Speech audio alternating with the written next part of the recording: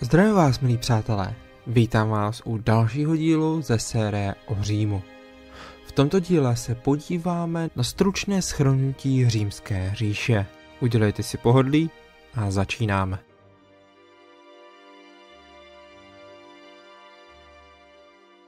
Římská říše byla jednou z největších v dějinách lidstva. Byla také jednou z nejúspěšnějších a přetrvala více než 700 let. Ačkoliv zanikla více než před 15 lety, staří římané stále ještě ovlivňují náš život.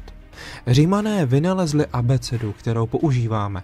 Jazyky dnešní Francie, Portugalska, Španělska, Itálie a Rumunska pocházejí z latiny, jazyka, kterým hovořili římané. Také angličtina obsahuje tisíce slov latinského původu. Od římských zákonů jsou odvozeny zákony mnoha zemí, jako například Francie nebo Německa. Římané založili mnoho velkých evropských měst, jako je třeba Londýn nebo Paříž.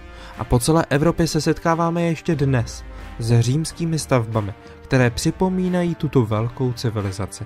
Do dnešních dnů se dochovaly téměř všechny předměty, které římané používali v každodenním životě. Mnohé z nich můžeme spatřit v muzeích celého světa.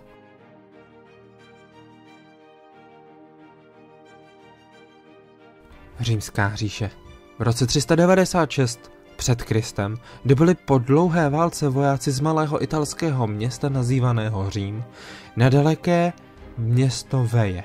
A během následujících 400 let Římané pokračovali v budování rozsáhlé říše, která do sebe pojala mnoho rozličných národů.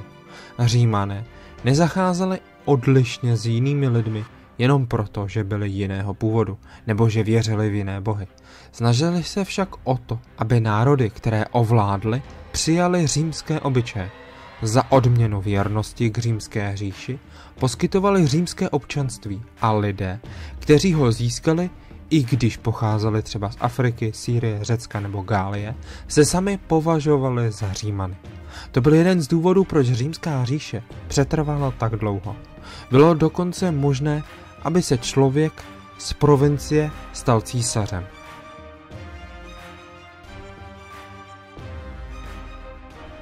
Římská republika. V nejstarších dobách vládly v Římě králové a Řím byl monarchií, ale v roce 509 před Kristem římský lid monarchii svrhl a založil republiku. V Římě pak vládli úředníci nazývaní magistráti. Ti byli voleni každým rokem schromážděním římského lidu. Zkušení mužové, tvořící senát magistrátům, radili. Římané často vedli války se svými sousedy a okolo roku 270 před Kristem dobili celou Itálii. Kartágo v severní Africe a řecké státy na východě se pokusili rozpínavost z Říma zadržet. Římané je ale všechny porazili a kolem roku 27 před Kristem ovládli celou oblast středozemního moře. S růstem moci Říma se jeho politici stávali stále skaženějšími. Dostávali se k vládě silou a nikoli volbou a republikánský systém se nakonec zhroutil.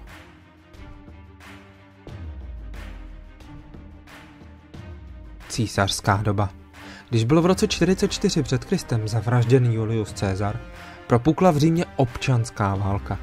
Nakonec z ní zvítězil Augustus.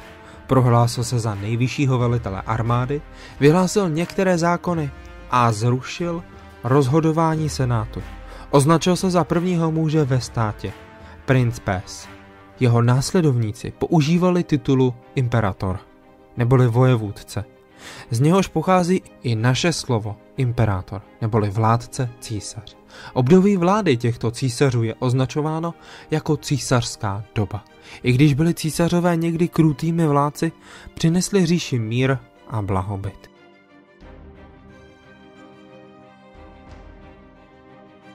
Římská armáda. Hlavním důvodem toho, proč římané dokázali vytvořit tak rozsáhlou říši, byla jejich ukázněná a dobře vycvičená armáda.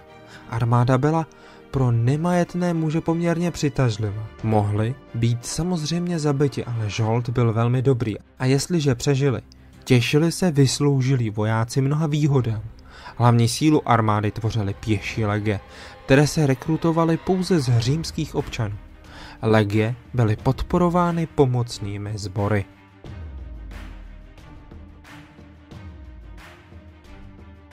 Římská pevnost Většina římských vojáků byla rozmístěna v pevnostech v blízko hranic říše.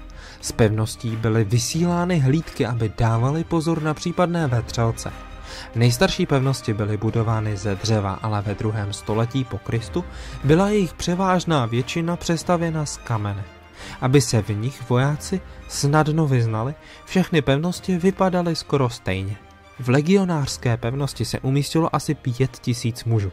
V pevnosti pro pomocné sbory se umístilo okolo 500 až 1000 mužů.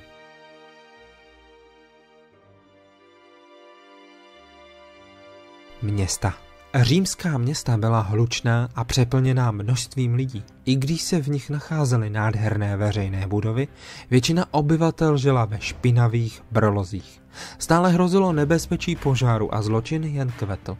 Na ulicích se nesvítilo a tak se lidé báli vycházet po setnění. Skoro každé město mělo hasiče a policii, ale nebylo to mnoho platné. Dopravní nehody a zácpy byly tak časté, že některá města zakázala ve dne pohyb vozů v ulicích. Přesto si však římané mysleli, že nejlépe se žije ve městech. Byly tam totiž věci, které římané považovali za životně důležité. Divadla, amfiteátry, dostihové dráhy, lázně, hostince a krámky s potravinami.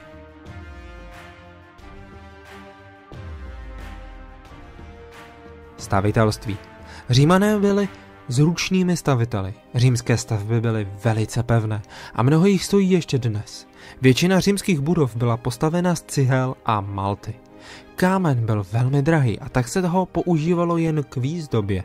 Římští stavitelé byli první znalci v používání betonu a konstrukci oblouku. Rovněž vynalezli klenbu. Proto mohly být jejich stavby velké, prostorné, s vysokými stropy a velkými okny. Někteří z nejlepších stavitelů a architektů působili v armádě. V dobách míru armáda pomáhala navrhovat a stavět celá města. Městské rady vlastnili také otroky, kteří byli považováni jako nádeníci při stavbě měst.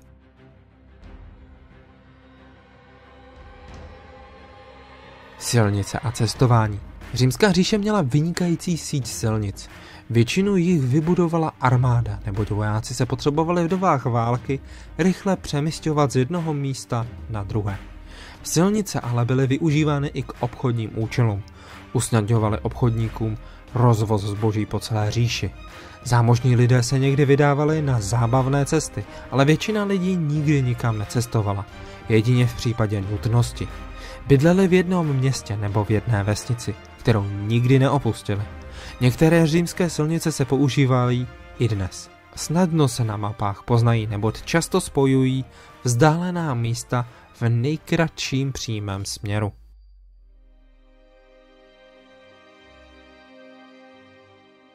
Zemědělství a venkov. Více než 90% obyvatelstva Římské říše žilo na venkově. Mnozí z nich byli otroci, kteří pracovali na panstvích bohatých statkářů. Někteří byli zemědělští dělníci, kteří hledali práci, kde se dalo. Jiní byli zemědělští nájemníci. Za užívanou půdu platili nájemné. Téměř všichni byli velmi chudí. Nejtěžší život ale měli otroci, s kterými se zacházelo velice krutě. Život na venkově se zcela řídil ročními dobami.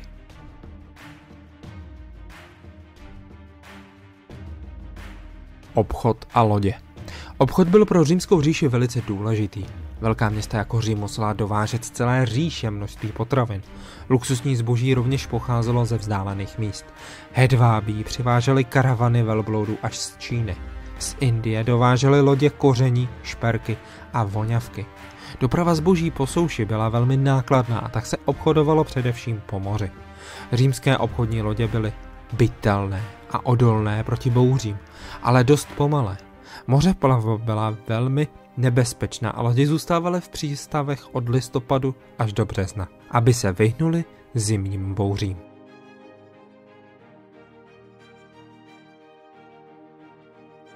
Městské domy Většina městského obyvatelstva žila v mnohoposchodových blokových obytných domech. Bohatší lidé bydleli v nižších poschodích. Tam byla postavena z cihel a měla velké pohodlné místnosti. Chudší lidé obývali vyšší poschodí.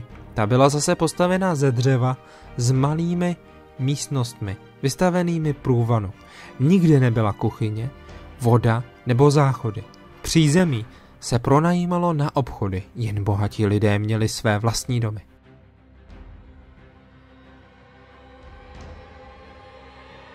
Rodinný život.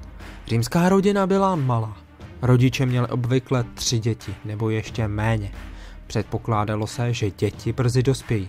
V chudých rodinách museli děti začít pracovat již v pěti nebo šesti letech. Bohatší děti na tom byly lépe, mohli si hrát až do sedmi. Potom chlapci začali chodit do školy. Většinou skončili v jedenácti, aby se seznámili s rodinným řemeslem a podnikáním. Chlapci byli ve 14 považováni za dospělé. Dívky byly vychovávány doma. Jejich matky je učily, jak se mají starat o domácnost. Většina dívek se zasnoubila ve 12 a provdala se ve 14. Rodiče milovali své děti, ale očekávali, že budou děti poslouchat. Manžela se často rozváděli. Když tomu došlo, děti zůstaly vždy u otce.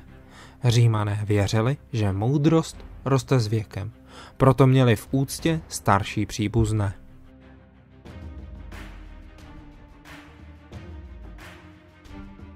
Jídlo a pití.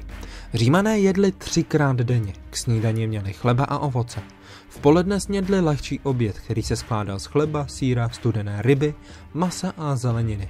Hlavním denním jídlem byla večeře, sestávající ze tří chodů, ale ne všichni římané se večer mohli dobře najíst. Většina lidí žila v obydlích, která neměla kuchyni. Museli buď to jíst studená jídla, nebo si kupovali teplé jídlo v některých z obchůdků s potravinami. Nejchudší římané se stravovali velmi špatně. Od státu dostávali obilí, z něhož si mohli uvařit jedině kaši.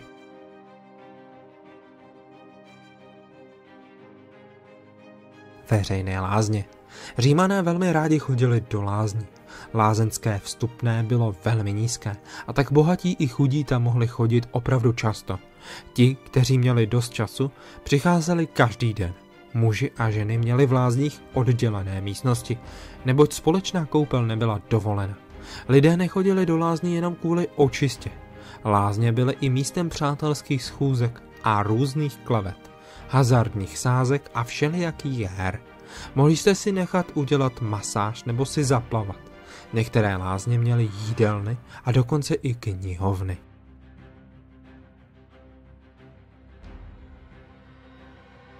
Hry. Vstup na většinu zábavních představení byl v římské říši zcela zdarma. Všechna byla placena bohatými a ctižádostivými muži. Doufali totiž, že velkolepá představení jim zajistí oblibu a zvýší jejich naději na vítězství ve volbách a zlepšení politického postavení. I když byl vstup zdarma, lidé si v aréně nebo v divadle nemohli sednout kam by chtěli. Přední sedadla byla vyhrazena pro boháče. Chučí lidé seděli za nimi a otroci museli sedět úplně vzadu. Divadla a koncerty byly oblíbené, ale největší návštěvností se těšila drsná představení jako závody vozů a gladiátorské zápasy. Hlavní událostí gladiátorských zápasů byl boj mužů ozbrojených různými druhy zbraní.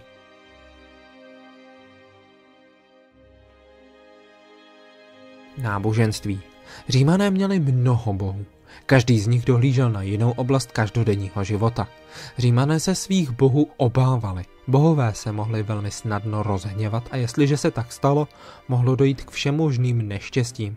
Proto se museli konat pravidelné oběti, aby byli bohové spokojeni. Žádné důležité rozhodnutí, jako například vyhlášení války, se nemohlo přijmout, aniž by si římané byli jisti souhlasem bohu. Římané věřili v posmrtný život. Domnívali se, že duše zemřelých jsou převáženy přes podzemní řeku zvanou Styx do podsvětí, říše mrtvých. Zde byly duše souzeny. Spravedliví odcházeli do míst věčné blaženosti. Provinilci do míst, kde je stihl trest. Při pohřbu se pod jazyk semřelého vkládala mince, aby měl čím zaplatit převoz do podsvětí.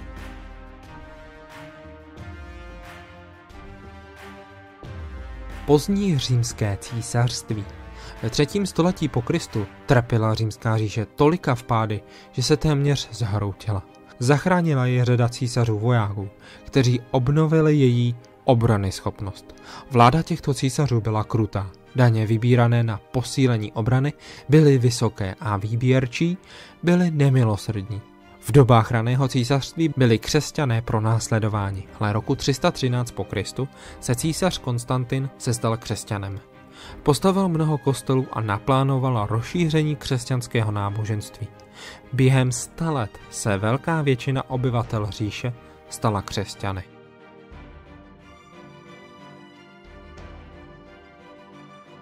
Zánik římské říše v pátém století po Kristu římská říše opět začala trpět vnějšími útoky, ale tentokrát už neměla císaře vojáky, kteří by ji chránili. Nyní byli císařové slabí a bezmocní. Ovládli je jejich úředníci a generálové. Útočníky byli příslušníci germánských barbarských kmenů. Nevtrhli do země proto, aby zničili římskou říši. Chtěli v ní žít a podílet se na jejím bohatství. Římané poskytli barbarům půdu, něníž by se mohli usadit. Na oplátku se barbaři zavázali, že pomohou říši bránit. Určitou dobu to působilo, ale barbaři zabírali stále více půdy. Okolo roku 476 po Kristu zabrali celou západní polovinu říše. Východní polovina říše přežila ještě dalších tisíc let a stala se známou jako Byzantská říše.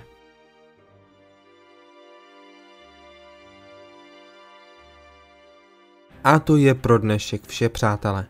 Já doufám, že se vám video líbilo, pokud ano, nezapomeňte dát like, odběr, koment, sdílněte to mezi své přátelé a uslyšíme se u dalšího videa. Zatím naslyšenou.